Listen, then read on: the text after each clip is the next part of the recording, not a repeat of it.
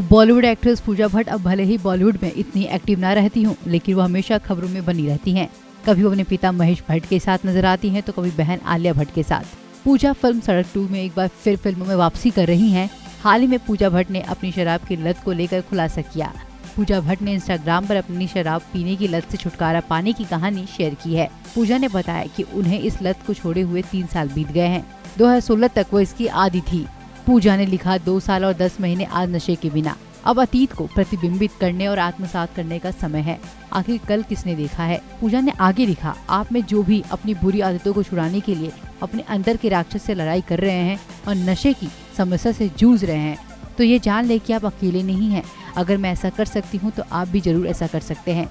अगर आप फड़फड़ाते हैं या गिरते हैं तो आप अपने आप को उठाओ और चलते रहो। बीते दिनों बॉलीवुड स्टार्स की पीएम मोदी से मुलाकात पर पूजा भट्ट ने कटाक्ष किया था पूजा ने महात्मा गांधी के शब्दों का ही इस्तेमाल कर ट्विटर पर पीएम मोदी और बॉलीवुड सेलिब्स की मुलाकात को लेकर लिखा, मेरा ऐसी सरकार से ना तो कोई लगाव है और ना ही मैं उसकी इज़्ज़त करती हूँ, जो अपनी अनैतिकता के बचाव में गलत काम कर रही है आपको हमारी स्टोरी कैसी लगी, आप हमें कमेंट के ज़रिए ज़रूर बताएँ।